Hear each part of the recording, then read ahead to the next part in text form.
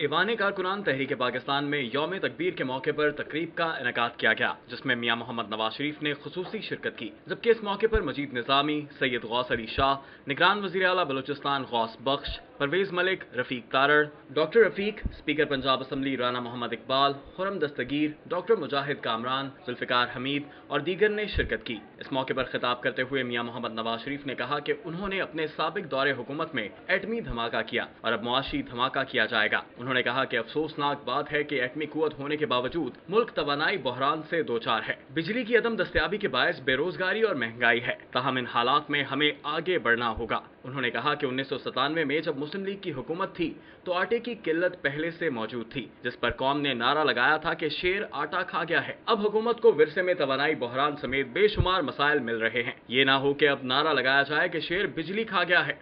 अब ये ना कोई कहना शुरू कर देगा शेर बिजली खा गया है।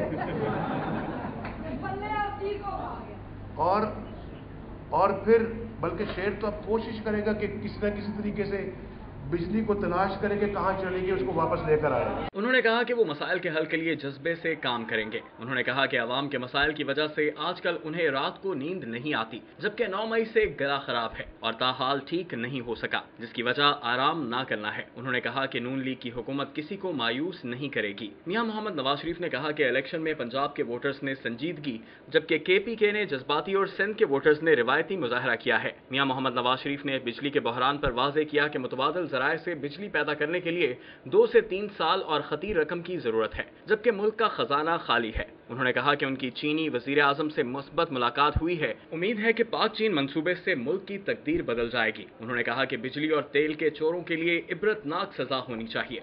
मैं कहता हूँ कि इन तमाम लोग जो चोरी करते हैं, जो लाइन लॉसेस के जिम्मेदार हैं और जो थेफ्ट और पिल्फरेज के जिम्मेदार हैं, इनकी, इनके लिए वो सजा होनी चाहिए।